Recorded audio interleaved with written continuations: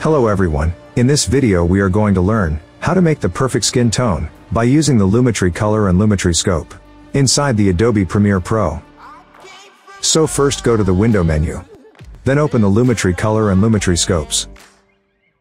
Now right click on the Lumetri Scopes and uncheck everything. Inside the waveform type, select Luma. Now we can see the exposure waveform only.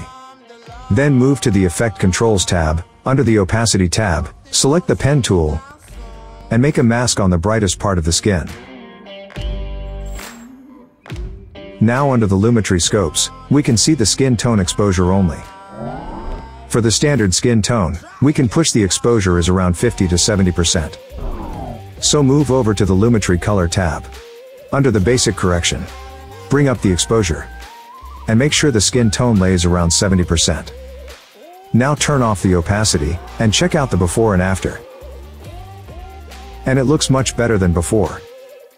For the dark skin tone, don't push it to 70%, try to keep it around 40 to 60%. Before going to the next step, let's talk about our sponsors for this video. And this video is sponsored by Mini Tool Movie Maker. Mini Tool Movie Maker is a free video editing software, and it's the best video editing choice for beginners. Inside this apps you will get different type of templates, so you can easily export multiple videos and pictures, to generate stylish videos. Find the elements that are closest to your video editing, select and place them on the track, to add the finishing touch to the video. You can check it out under the description link.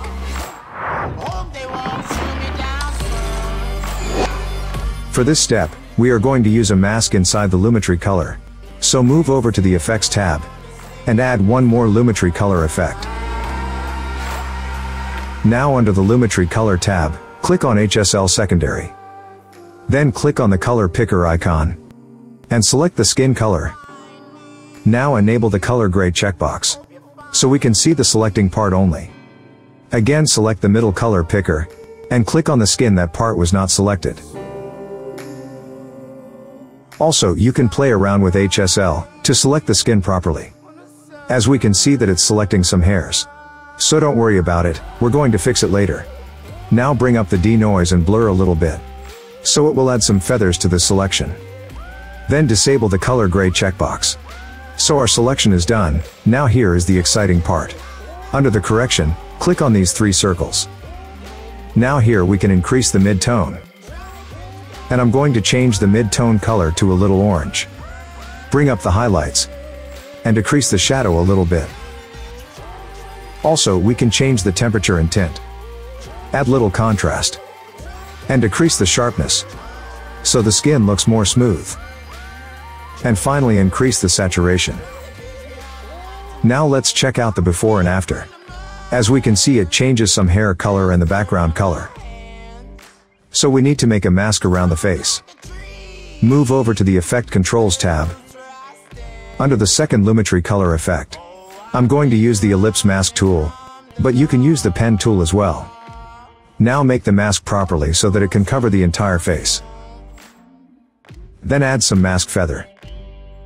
And that's it. Now as we can see, it has only changed the color of the skin tone. But there is one more problem. As we can see that her face is moving, but the mask is not moving with her face. So let's see how to solve it. Move the time indicator to the first frame.